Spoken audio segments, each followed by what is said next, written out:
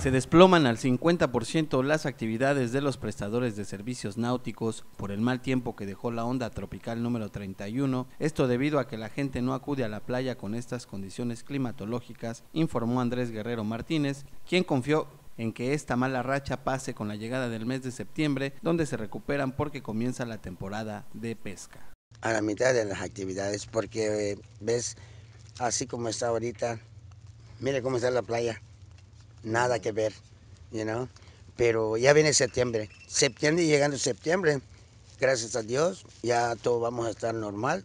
Vamos a estar pues al 100, supuestamente. Porque ahí vienen las, eh, ¿cómo se llaman los pescados? Este, macabí. Ya sacamos lo que es, lo que es macabí. Hay dinero, ahí vienen los carros a recogerlos para llevarlos para la capital y todas esas cosas.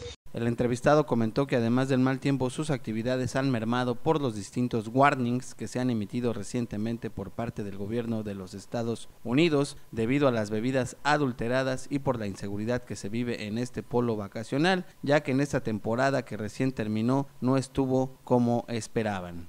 Seguramente afectó, afectó, eh, afirmativamente afectó, you porque ves, la gente estaba así presionando mucho y no es justo, ¿verdad?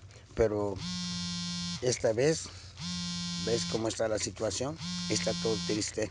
El prestador de servicios comentó que confían en que este puente que viene por el festejo del 15 de septiembre se mejoren sus actividades porque es considerado un mes donde pega más la temporada baja. Para Notivisión, Luis García.